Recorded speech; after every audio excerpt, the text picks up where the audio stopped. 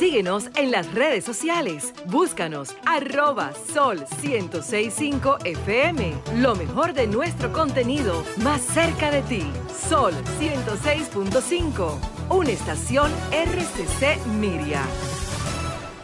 Patriota, don Rafael Fafa Taveras. Bien. Yo tengo la convicción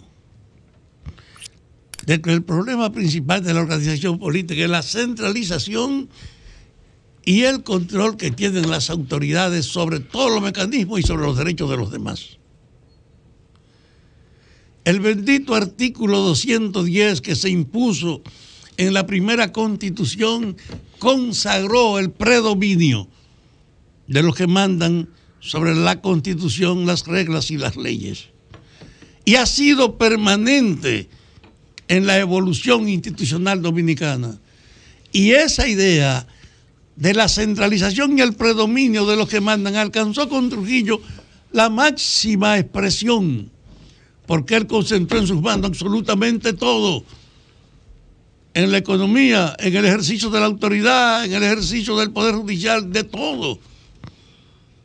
Y la gente se ha rebelado contra algunas de las manifestaciones de ese mal histórico de la centralización del poder. Ahora estamos hablando de cómo podemos luchar por de verdad lograr una auténtica separación de los tres poderes. ¿Cómo podemos tener una justicia que no sea hija de la influencia del Ejecutivo ni de la voluntad del legislador? Cómo lograr de verdad que los tres poderes tengan que entenderse a la luz de lo que dice la Constitución y no por simple conveniencia del Ejecutivo predomina y lo manda, lo condiciona y los usa. Yo estoy con una auténtica separación de los poderes. Yo creo que hay una oportunidad ahora donde no hay manera de justificar la concertación para mantener el predominio del Ejecutivo sobre los otros. Usted se imagina lo que es que el activista principal de la justicia es nombrado por el Ejecutivo y entonces él es un mediador entre el Poder Judicial y el Ejecutivo. Él es un agente en la mediación, no en la autonomía y la separación de los poderes los propios congresistas son una dependencia del partido con el que ganan el poder. Lo de la autonomía hay que perfilarlo de verdad para que escogido aún por la promoción de un partido, ellos sepan que tienen la responsabilidad no de actuar de acuerdo a la norma o a la línea del partido que lo propuso, sino a las reglas que establece la constitución de su papel. Yo quisiera de verdad ver una auténtica separación de los poderes. Lo que se oponen ahora a que se plantee la separación de los poderes modificando la constitución son los lacayos servil del autoritarismo y de la centralización. Todos quieren que se mantenga el estado actual pensando en que si ellos controlan en el Ejecutivo el poder lo son en una forma absoluta de todo. La democracia no puede seguir siendo un relajo en manos de unos cuantos.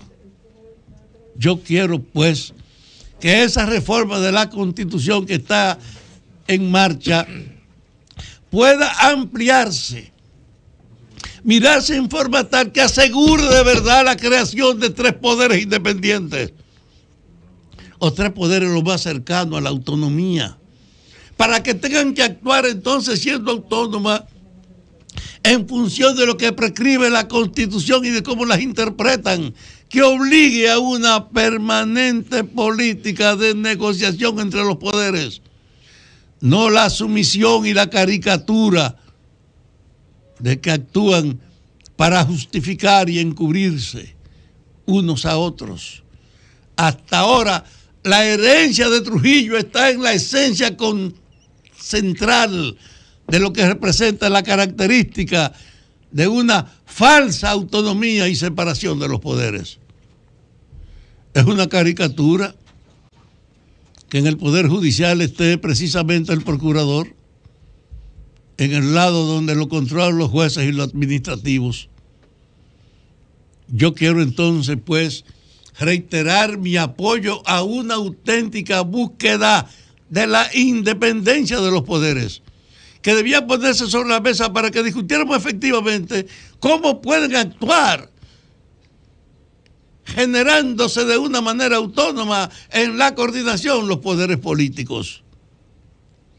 Es una aspiración que nunca hemos tenido en el país. Ahora me da pena ver partido opuesto a la modificación constitucional, porque en el fondo lo que están justificando es la caricatura de la independencia en nombre de una supuesta autonomía que la maneja el que manda o que usted puede usarla como un instrumento de negociación o de chantaje en última instancia.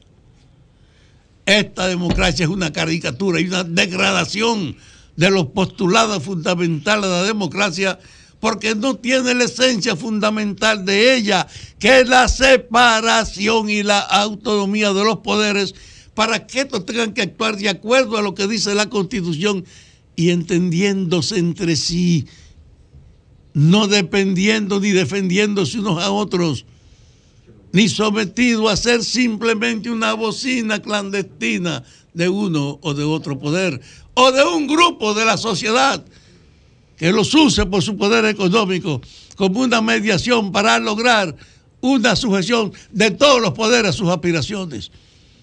Esta es una democracia prostituida mientras no tenga una auténtica independencia de los poderes.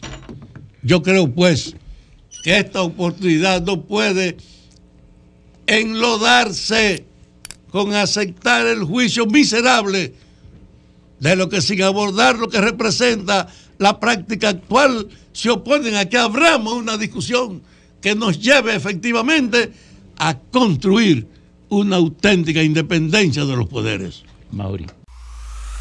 Sol 106.5, con la mayor variedad de contenido, información, entretenimiento e interacción en una sola estación. Cobertura total, disponible para ti en la radio y en las plataformas digitales. Somos Sol 106.5, la más interactiva.